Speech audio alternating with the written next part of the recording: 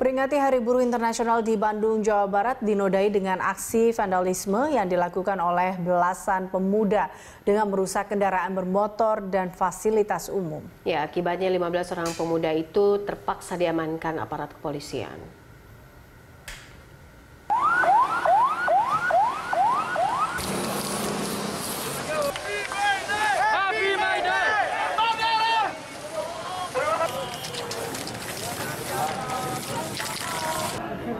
Belasan pemuda melakukan aksi vandalisme saat melakukan long march dari Jalan Cikapayang menuju Monumen Perjuangan Jawa Barat.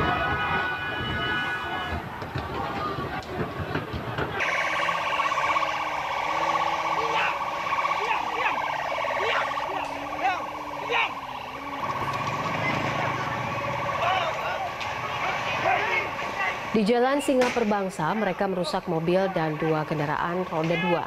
Tidak hanya itu, mereka bahkan mencoreti tembok dan pagar rumah warga di sepanjang turunan Pasupati dengan menggunakan cat minyak.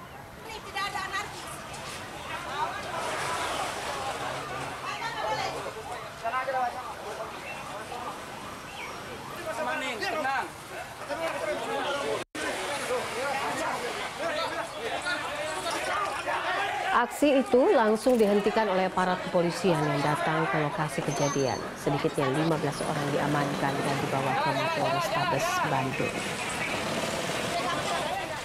Menurut keterangan saksi mata, gerombolan pemuda itu tiba-tiba datang secara bergerombol dan langsung melakukan perusakan.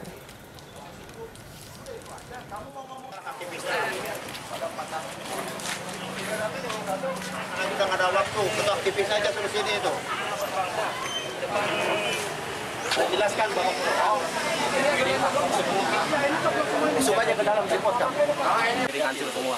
Report aja. Buat laporan langsung sekalian.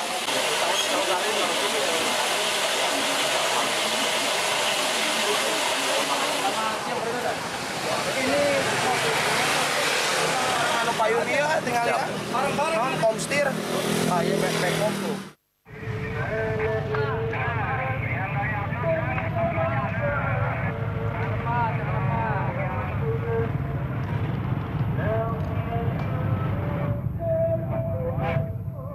Saya apa?